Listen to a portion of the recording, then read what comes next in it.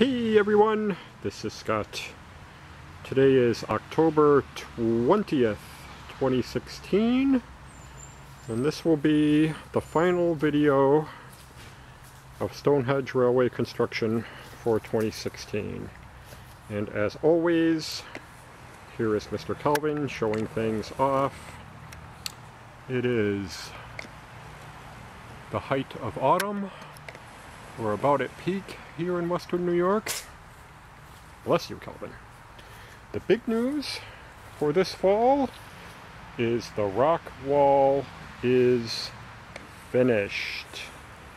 What do you say, Kelvin? Oh no, Calvin sneezing.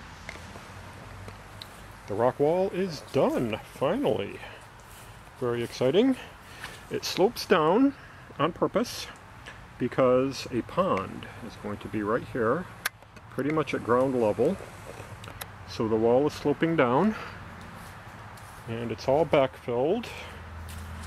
Uh, there's still quite a bit of fill dirt that has to go in here.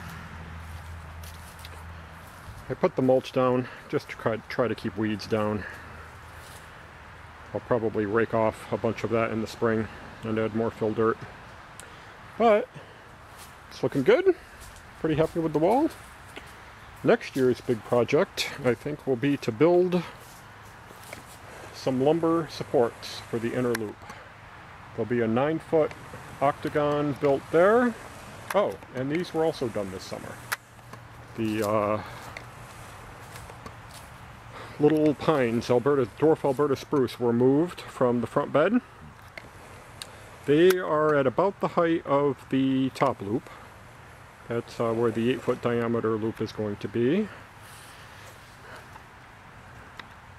That's about how high that is.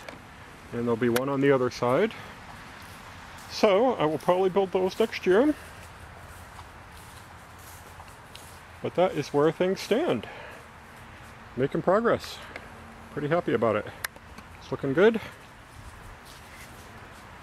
So that will be all for 2016.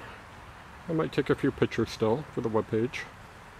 But that is basically all done.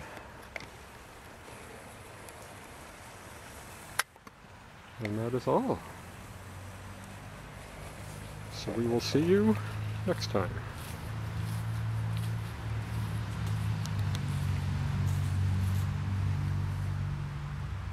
What do you say, Calvin? Calvin is pleased.